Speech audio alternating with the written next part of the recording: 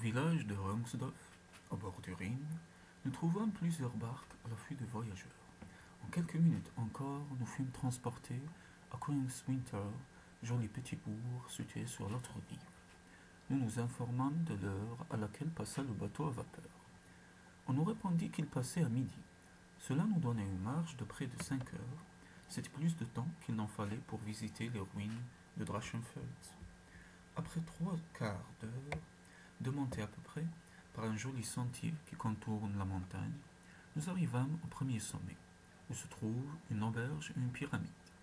De cette première plateforme, un joli chemin tournant et sablé comme celui d'un jardin anglais conduit au sommet du Drachenfeld. On arrive d'abord à une première tour carrée, dans laquelle on pénètre assez difficilement par une crevasse, puis à une tour ronde qui, entièrement éventrée par le temps, offre un accès plus facile. Cette tour est située sur le rocher même du dragon. Le Drachenfeld tire son nom d'une vieille tradition qui remonte au temps de Julien l'Apostat, dans une caverne que l'on montre encore, à moitié chemin de la montagne. S'était retiré un dragon énorme, si parfaitement réglé dans ses repas, que lorsqu'on oubliait de lui amener chaque jour un prisonnier ou un coupable, à l'endroit où il avait l'habitude de le trouver, il descendait dans la plaine et dévorait la première personne qu'il rencontrait. Il est bien entendu que le dragon était invulnérable. C'était comme nous l'avons dit, au temps où Julien l'Apostat vint avec ses légions camper sur les bords du Rhin. Or les soldats romains, qui n'avaient pas plus de vocation pour être dévorés que les naturels du pays, profitèrent de ce qu'ils étaient en guerre avec quelques peuplades des environs pour nourrir le monstre sans qu'il leur en coûtât rien. Parmi les prisonniers, il se trouvait une jeune fille, si belle que deux ceinturions se la disputèrent, et qu'aucun des deux ne voulant la céder à l'autre, ils étaient près de s'être égorgés. Lorsque le général décida que pour les mettre d'accord, la jeune fille serait offerte au monstre, on admira fort la sagesse de ce jugement, que quelques-uns comparent à celui de Salomon, et l'on s'apprêta à jouir du spectacle.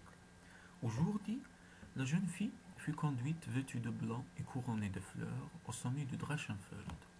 On la lia à l'arbre, comme Andromède à son rocher. Seulement elle demanda qu'on lui laissât les mains libres, et l'on ne crut pas devoir lui refuser une si petite faveur. Le monstre, nous l'avons dit, avait une vie très régulière. Il dînait comme on dîne encore en Allemagne, de deux heures à deux heures et demie.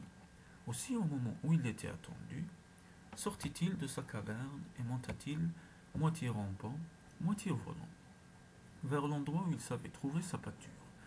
Il avait l'air ce jour-là plus féroce et plus affamé que d'habitude. La veille, soit hasard, soit raffinement de cruauté, on lui avait servi un vieux prisonnier barbare, fort dur et qui n'avait que la peau sur les os, de sorte que chacun se promit un double plaisir ce redoublement d'appétit. Le monstre lui-même, en voyant quelle délicate victime on lui avait offerte, en rugit de joie, fouetta l'air de sa queue écaillée et s'élança vers elle. Mais lorsqu'il était prêt à l'atteindre, la jeune fille tira de sa poitrine un crucifix et le présenta au monstre. Elle était chrétienne. À la vue du sauveur, le monstre resta pétrifié.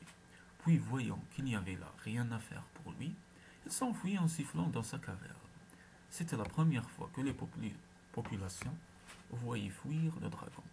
Aussi, tandis que quelques-uns couraient à la jeune fille et la déliaient, le reste des habitants poursuivit le dragon, et encouragé par sa frayeur, introduisit dans la caverne force fagots sur lesquels on versa du soufre et de la poirésine, puis on y mit le feu. Pendant trois jours, la montagne jeta des flammes comme un volcan. Pendant trois jours, on entendit le dragon se débattre en sifflant dans son antre. Enfin, les sifflements cessèrent, le monstre était rôti. On voit encore aujourd'hui la trace des flammes et la voûte de pierre, calcinée par la chaleur, s'écraser en poussière aussitôt qu'on la touche. On conçoit qu'un pareil miracle aida fort à la propagation de la foi chrétienne. Dès la fin du IVe siècle, il y avait déjà force sectateurs du Christ sur les bords du Rhin.